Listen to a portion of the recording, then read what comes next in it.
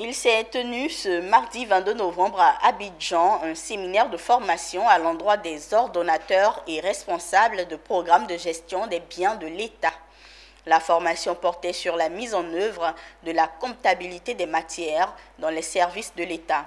Organisée par la Direction générale du budget et des finances, cette formation entre dans le cadre de la réforme des finances publiques initiée par le gouvernement. Walter Kofi, Augustin Kra.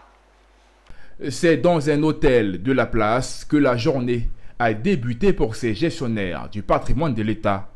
Ils étaient plusieurs à bénéficier d'une formation sur le cadre de gestion des biens de l'État, les procédures et les outils de gestion en comptabilité matière. Une formation qui s'est tenue sur trois jours, dont l'objectif est de permettre aux ordonnateurs des établissements publics nationaux et aux responsables de programmes d'administration générale de s'approprier les outils de gestion de la comptabilité des matières et de veiller à sa tenue dans les services de l'État et dans ses démembrements. Comme vous le savez, la Côte d'Ivoire est engagée dans une réforme profonde des finances publiques. Nous sommes dans un cadre harmonisé des finances publiques au niveau de l'espace UEMOA. La comptabilité des matières découle d'une directive de l'UEMOA, la directive 03-2012 du 29 juin 2012 portant comptabilité des matières.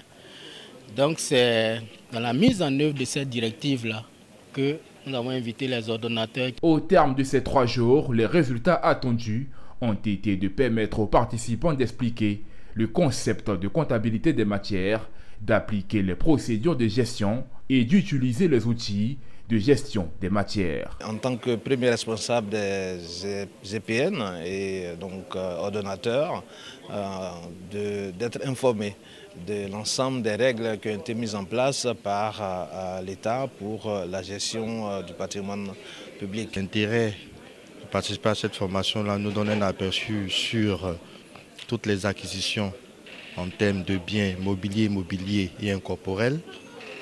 Cela donnera euh, à la Côte d'Ivoire un aperçu exhaustif sur le patrimoine dont détient l'État. La formation s'est tenue du 22 au 24 novembre et s'est terminée par une remise de certificats aux différents participants.